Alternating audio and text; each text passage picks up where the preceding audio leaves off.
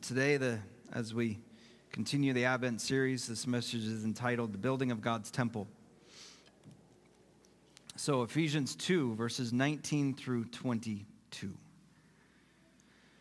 So then, you are no longer strangers and aliens, but you are fellow citizens with the saints and members of the household of God built on the foundation of the apostles and prophets, Christ Jesus himself being the cornerstone, in whom the whole structure being joined together grows into a holy temple in the Lord.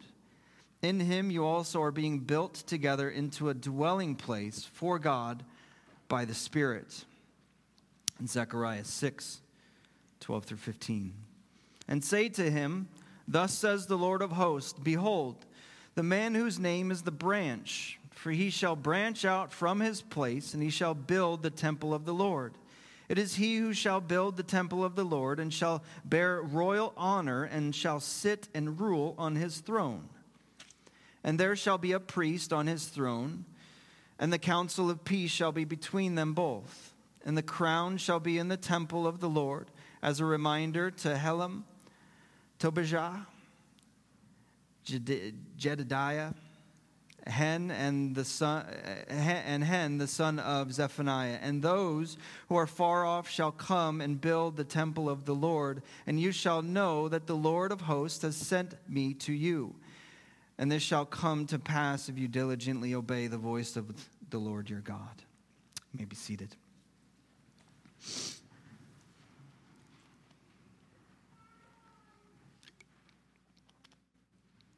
From the binding of Satan, the king takes his throne. In the process of that, there was one aspect of the first coming of Jesus that is inaugurated fully in the plan of redemption that we highlight today. And this, as you know, is the building of God's temple. And talking about this, we again are struck with the question of how this relates to the discussion of the end time. Oh. We won't go into the depths of those details, but this is surrounding that whole issue. And in that, there is even the question of whether there will be a physical temple rebuilt before the second coming of Jesus, which will be, according to some, the millennial temple in the literal thousand year earthly reign of Jesus Christ. Is that going to happen? If that was true, then the branch from last week that we heard about, and the branch we hear about in this passage from Zechariah, is strictly future. We should do we, we sure do need to test that interpretation. As we look at this, what's important to see is the progression of history in the plan of God. And in that, the question ought to be answered whether there will be a physical temple rebuilt in the future. Will that happen? Or was everything in progression to a different temple that is not made with hands?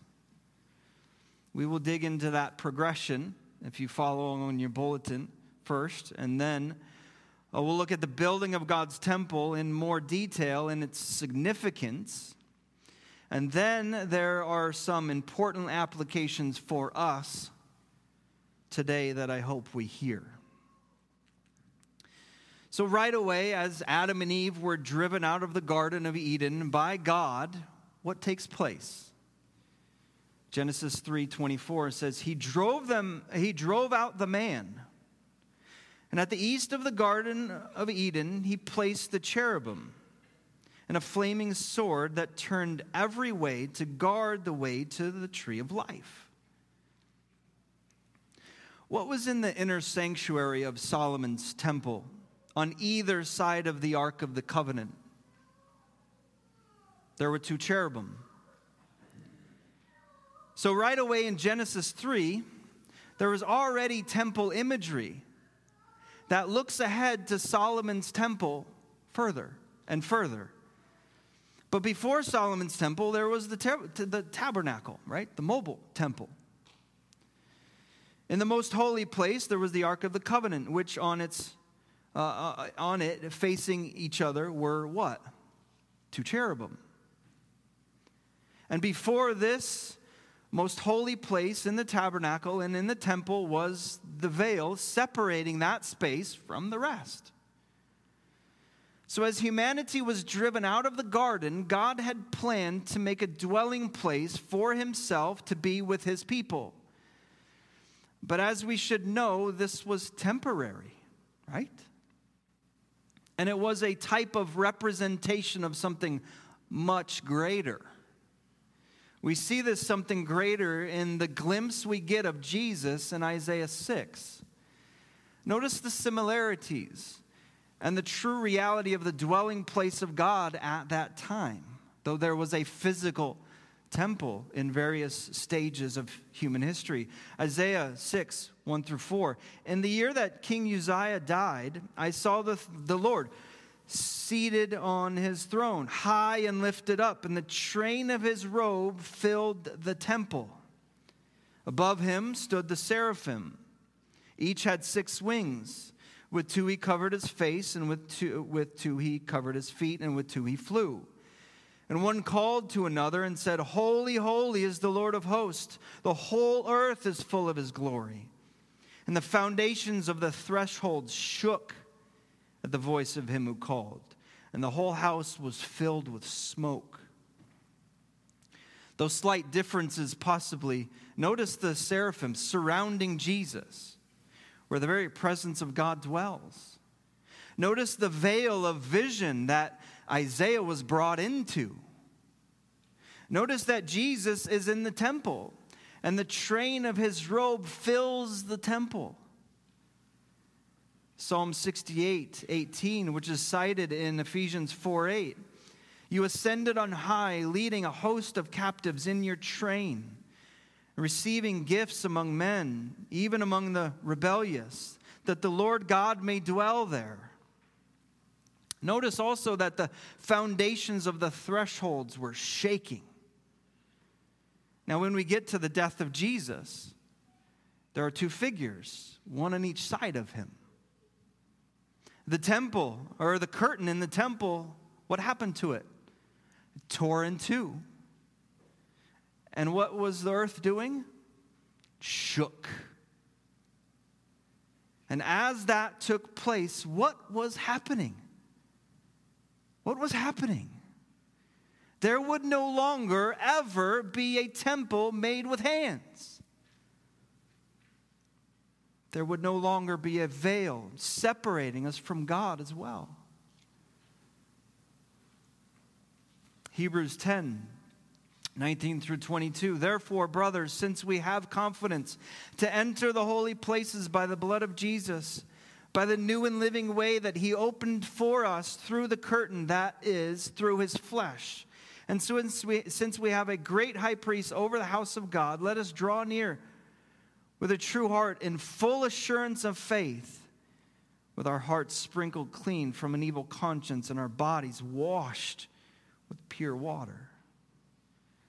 This is driving ultimately to where our sanctuary is, which is in union with Christ Himself and where He is. What does Ephesians 2 say? We are seated in heavenly realms in Christ Jesus. And remember Jeremiah 17 12, part of our call to worship. This is the progression from the person of Jesus. And is that he then goes on as he, in his ministry, he says, He is the true temple. In John 2 18 through 21 says this So the Jews said to him, What sign do you show us for, these, for doing these things? Jesus answered them, Destroy this temple, and in three days I will raise it up. The Jews then said, It has taken 46 years to build this temple, and you will raise it up in three days? But he was speaking about the temple of his body. So, as we become united to him, united to Jesus in our salvation, what to do we then become? As we are in him and become united to him as one, then we are the temple of God as individuals. 1 Corinthians 6, 19 to 20. Or do you not know that your body is the temple of the Holy Spirit within you, whom you have from God? You are not your own, for you were bought with a price. So glorify God in your body. 2 Corinthians 6:10 or 6:16 says for we are the temple of the living God. As this is true of us individually, if we are truly in Christ, then this brings us to ultimately where we land today. Collectively, the church is God's temple, which He builds. This is where all this progression that we noted very briefly, all this progression drives to as the fruit of Jesus' finished work, is the church. The very focus. He came for the church. He gave himself up for her so that he might sanctify her, the church, present her to himself. Now, before we get into further significance of this temple, the collective church, who is the body, the bride, the army, the family of God, just stop for a minute and think about this. Do you think about the progression of history that we just noted very briefly? The significance of the church, not from our perspective for a minute, from God's perspective. How He sees this. Now, this must be foundational to how we view all of what we'll talk about today. And as Olive tells me often, keep this in your head. Keep that in your head for later. The significance of how God sees his church as this will develop clearly into what the church has become. Even though it has always existed, just think about God's design and God's work in bringing this to fruition. God's design and God's work for the church. Out of the out from the tree of life would flow living water where sinners could come at no cost and drink everlasting life. And they would come from all nations, all nations, and gather into God's sanctuary, which is in his Son, to be the body of Christ that would worship him now and forevermore. And Jesus came to die for this bride, sanctify this bride, and present this bride to himself. This is the significance of the church from God's perspective. May we truly see that. But what is the church more specifically? The church is the ecclesia, which is literally meaning an assembly. In the general meaning of the term, it means citizens called out of their homes into some public place to gather. So, the very definition at the root is the literal physical gathering or assembly of people that are taken out of separateness and gathered together as a group, as a collective body of people. The church of God is the assembly of the citizens of his kingdom that are called out of the world by God's grace while they live in the world and are gathered together to do at the very foundation to worship their triune God. These citizens of the kingdom gather as an assembly in a public place. How God has structured them as the pillar and buttress of truth, according to his structure, him as the head. And they structure their government according to his word. And they live out their life together according to his word, reforming to his word. Whether it's in a home, school, warehouse, more historically like this, a historically looking church, in a secret place, in a field. But they themselves, they themselves are the church, wherever they are gathered physically together.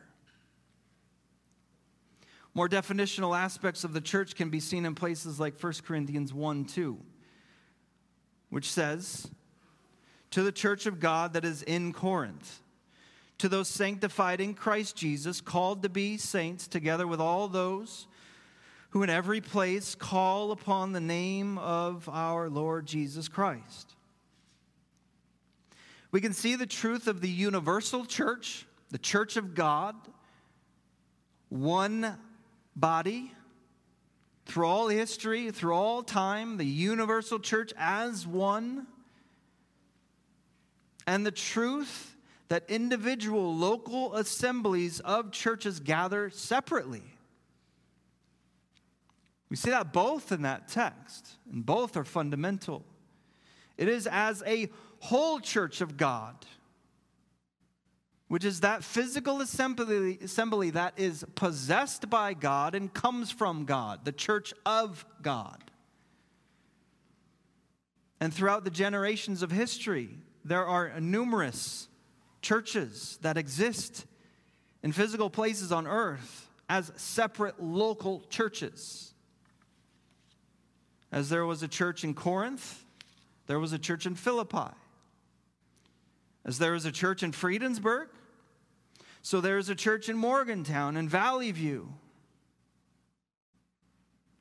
With a surface look at this text, 1 Corinthians 1 2, it is heavily implied, which is supported by other clear texts, and even as we get deeper in there, which we will in a second, that this gathering is a consistent gathering of people, a consistent gathering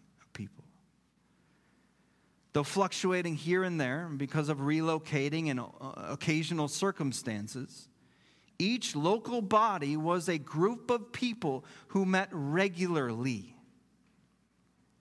that came together faithfully.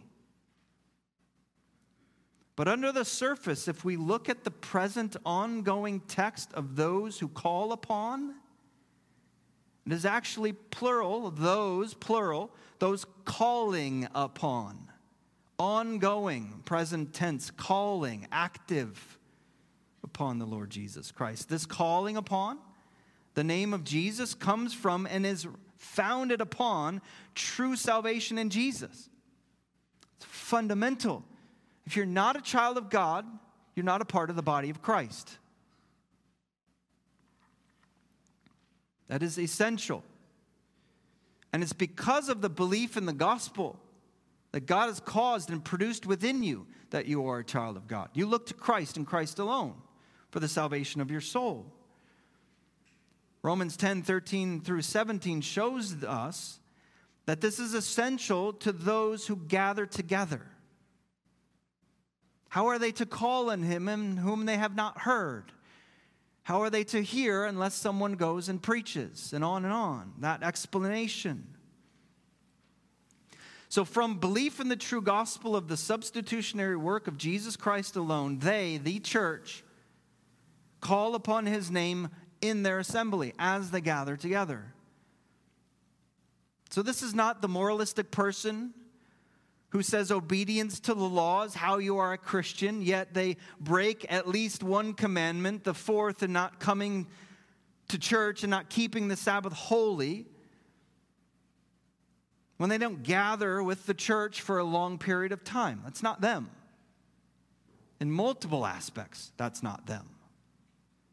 This is not the person who says that they can worship God in creation, so therefore they don't need to gather with the body of believers. This is not the person who has made it a perpetual part of their life to quote unquote go to church online week in and week out. It's not existing. If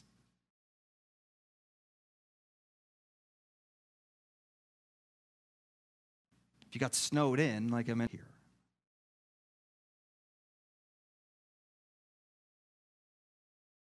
We're not talking about perfection and all of that. With this present tense ongoing calling upon Jesus from the gathering of the church, we must heed the warning that Hebrews 10 24 through 25 gives us in saying this. And let us consider how to stir up one another to love and good works, not neglecting, not forsaking, that's present active not forsaking to meet together, as is the habit of some. It's a habitual thing, it's an ongoing thing, it's a consistent thing. But encouraging, again, present active, ongoing, but encouraging one another, and all the more as you see the day drawing near. In this, we see that the church is the gathering of those who are calling upon the name of Jesus which is the outward expression of an inward salvation that they have been given by God. So they call upon Him in their gathering. They're dependent upon Him, they appeal to Him, they worship Him. How is that inward reality known? It is known by the fruit of salvation, which again is seen in belief in the gospel message about how a sinner is saved in Christ. It is then showing evidence of the grace and knowledge of Jesus according to the scriptures. It's showing evidence of that salvation, that living faith that shows itself. Furthermore, as we connect this back to the building of God's temple that began in the first coming of Jesus, our text from Ephesians 2 must bring all the significance of the church back to be very clear to us, especially as this is specifically talking about us Gentiles. We, those Gentiles who are truly in Christ, if you are, we are no longer strangers, no longer aliens, no longer alienated from the covenant promise of promise, but we are fellow citizens with the saints. We are members the household of God. We're grafted into the olive tree with the covenant people of God, the remnant of Israel. And this household of God is built upon the foundation of the apostles and the prophets, with Christ Jesus himself being the cornerstone. And this household is the growing temple of God, which God builds. This is the dwelling place for God to be with his collective body by the Spirit. So we're not only individually temples of God, but we gather as the church, the physical assembly. And when we do, we are together the temple of God. And this temple is being built and has been ever since the fall. But more fully, because of the plan of redemption in Jesus ever since his finished work. That has been a, a, an explosion of reality, an expansion of that gospel truth that includes us. This is the temple spoken of in Zechariah. It is not a physical millennial temple made by hands that will be in our future. It's not what it's saying. What joy should this bring us? All the significance of the progression of history, the design of God, the work of God, bringing to fruition His church, building His church. What joy should this bring us when we put all of this together? All of what we just went through. We should just stop for a couple of hours and just ponder that. Just be silent and reflect and meditate on that truth of all the scriptures of what they say. What a massive importance this should be in our lives. Massive importance. What a priority. A sacrifice. this should be for us. A desire, a big, a deep desire, hunger, and also a duty. Commanded to gather. This is why I can't believe it. When a pastor calls for, need, for the need of consistent, faithful attendance and for regenerate membership, being founded on the premise that you're born again, and that's a work of God that He shows. Can't believe it when that's called for and people get mad. People leave churches because they somehow don't agree with that while professing Christ, or they take it personally. Like that pastor's singling them out or something.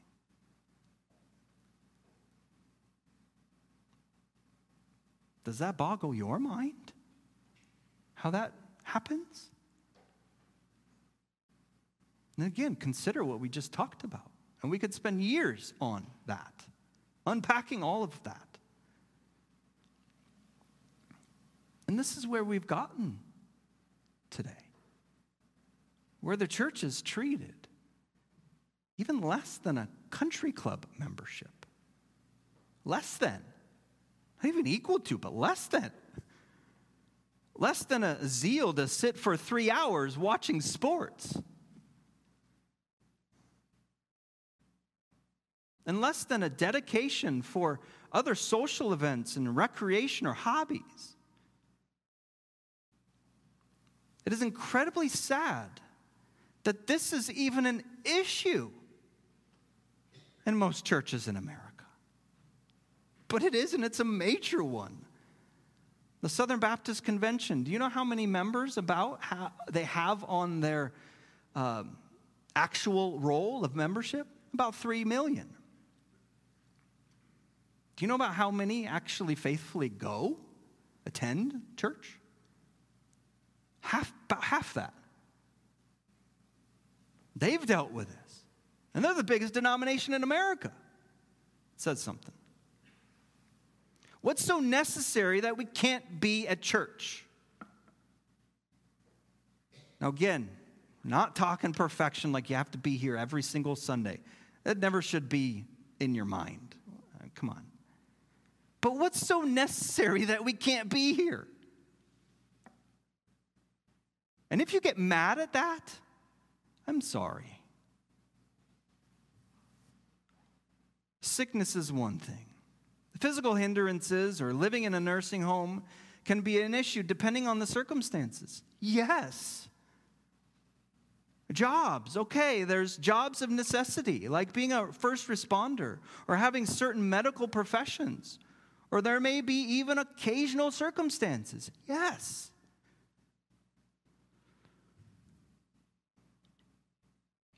But what's so necessary? We can't be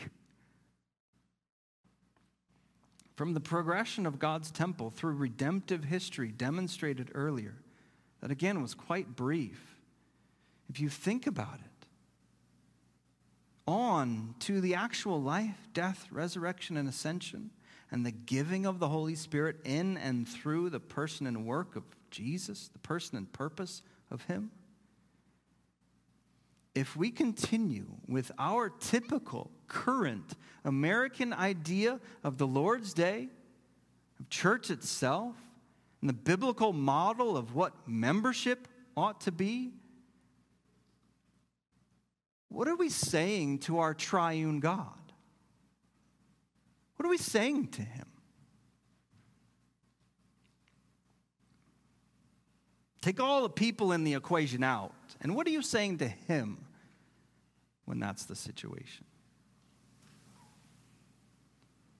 What does this negligence or indifference or apathy that we've got in this country, especially, what does that say to our head?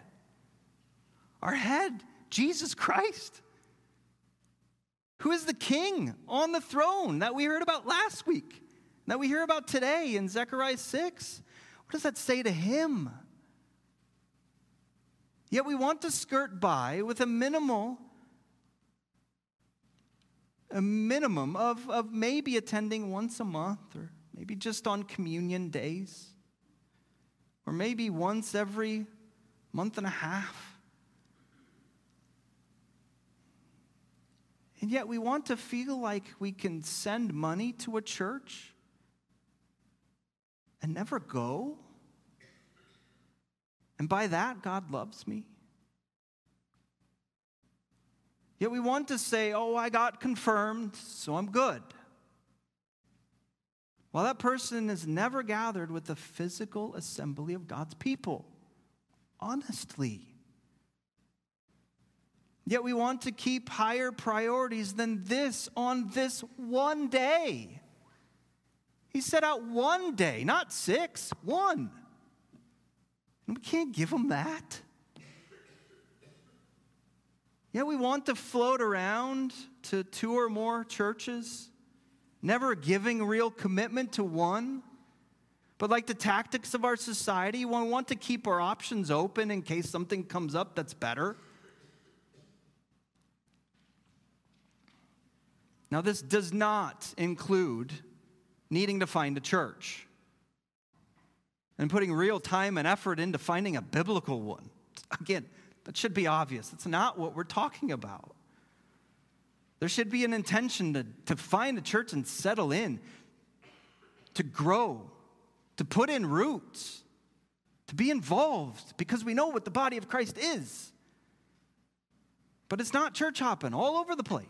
Oh, I didn't like it there, so I'm going to go there. I didn't like it there, so I'm going to go there, and back and forth and back and forth and all over the place. Because we want it our own way. We don't want to just land because we are entitled to have it our, way, our own way today, right? You could give millions to the church, work for long hours in physical labor for the church, watch hours of sermons on YouTube, but if you are not physically gathered with the assembly in an ongoing manner, then you should not be a member of the church visibly. And at that point, if that's a consistent thing, I would question your salvation and being an invisible member of the body of Christ. If there are issues like this in an ongoing, perpetual pattern manner, does that make sense? Now, why would I question that? Why, would any, why should anybody question that? Because there's something really off. There's something really off. There's a huge disconnect there that really shouldn't be there. All the giving, all the labor, all the added study, all the activity should be founded upon our presence within the consistent physical gathering as the body of Christ because we understand what that is. We have a hunger for it, a desire for it. There are so many problems with this particular issue today. It is hard to know where to begin, but today, in this church, we seek to approve an amendment to our bylaws regarding membership because of the inclusion of a category, mainly, of an inactive member that has been there, and I'm going to be honest with you, for far too long. And I say that because I love you, and I'm called to shepherd you.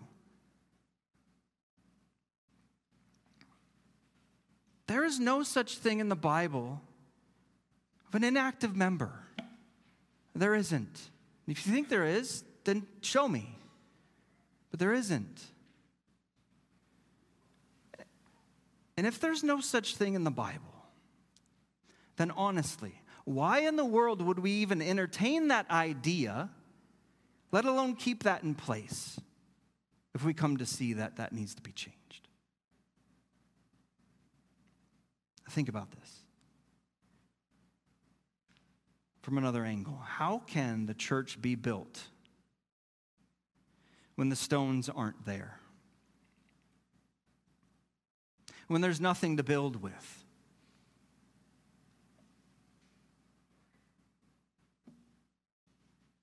Imagine if these building stones had arms and legs for a minute. What if they were there one day to be built with? So they were put into the wall. Then the following week, they decide to jump away and run and do something else. What about the stones that were maybe there one day or some days, but then left and didn't show back up, but still boasted about their position as a stone of that building? How could you build with stones like that? First Peter 2 says that we are living stones being built up as a spiritual house. And I thought about that illustration and it was funny. I came upon something that Charles Spurgeon said. So listen to this. He says, quote, I know there are some who say, well, I've given myself to the Lord, but I don't intend to give myself to any church. I say, Now, why not? And they say, They answer, Because I can be just as good a Christian without it. I say, Are you quite clear about that? You can be as good a Christian by disobedience to your Lord's commands as by being obedient. There's a brick. What is the brick made for? It's made to build a house. It is of no use for the brick to tell you that is just as good a brick while it's kicking about on the ground by itself as it would be as part of a house. Actually, it's a good for nothing brick. So, you Rolling Stone Christians, I don't believe that you are answering the purpose for Christ for which Christ saved you. You're living contrary to the life with which Christ would have you live. And you are much to blame for the injury you do. End quote. Wow. One, he highlights the significance. Two, he highlights the implications of a brick not being a part of the body. Further, being built means a continued expansion the people of God, the church, has been in the process of being built ever since the fall. And it will continue to be built within the new covenant era as we Gentiles are grafted in. This building will continue until the second advent of Christ the people of God, as the temple of God, will gather in the name of Christ, believing in the one way of salvation, in Him alone. And when they gather, they gather by His sovereign hand. It is His doing, His work, what He produces that causes them to gather. Because by nature, we don't want to gather. It is a new, real desire of the regenerated sinner to gather physically, to be there, to be a part of it. And as we are conformed to God's word, we will see the characteristics of what membership is to be. That's why it is so completely backwards to hear a fight on that. Some would say that these amendments that we want to do are too strict. We should instead be more inclusive, they say, by accepting everyone into membership with no question. This is exactly a major pro- part of the problem. This shows a fundamental lack of understanding in the most basic differences between true and false religion and what church means, what the church is. Basic. How can we not see and strive diligently after the building of God's temple, the church? We can't see it because many are shrouded in unbelief, blinded by sin, where they can't see the significance of God's truth. But as Zechariah says, we Gentiles, those who are far off, shall come and help to build the temple of the Lord. We will be builders who labor to build something that is not made with hands. This means that, for one, we will first be living as the building itself as it is being built. We are those living stones, recreated in Christ Jesus for good works, working them out, both in an individual context and collective. That is a reality. And a major piece of this that drives to sanctification is our presence within the assembly together, calling upon the name of the Lord by true faith. So God sanctifies you as an individual. Do you know He sanctifies you as a collective body as well? Sanctifies the church too. It's beautiful. Then, flowing from that is the other inseparable reality of being building helpers which is evangelizing the nations, discipling the nations, calling them to obey the, the commandments of Christ, which is the plundering of Satan's house that we ought to find great energy in. Knowing that Jesus will build his church and the gates of hell will not, hell will not prevail against it. And having a joy, a joy, not just a superficial emotion on the surface, though that is often there, a joy that is deep seated in that heart, that new heart. Having a joy living together, living together, spending life together. And what's one of the most beautiful components of that? We have a unity in Christ that surpasses any blood unity, earthly blood unity, because we have a unity in the blood of Christ that binds us together. We live as the church for what it is while all of that is happening, while all of the building is happening. We stay faithful to that building. He will add to the number of his body and build. Does that mean that that number will rarely come together as the assembly despite the infinite significance of his church from God's perspective? Should be an easy answer. I hope it is to you. Does that mean that they will put in the bare minimum despite what the work of regeneration and sanctification is biblically?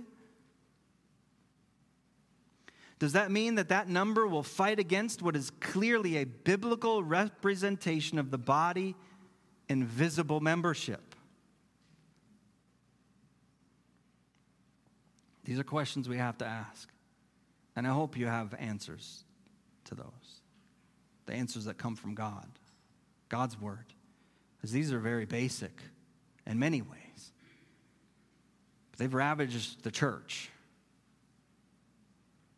We need to recover them, faithfully stand upon them, embrace them for what they truly are and the significance of this whole picture, and have a joy that is overwhelming because of the grace of God in Christ. May God build this church to be faithful to Christ. And I believe He is. May He continue. Let's pray.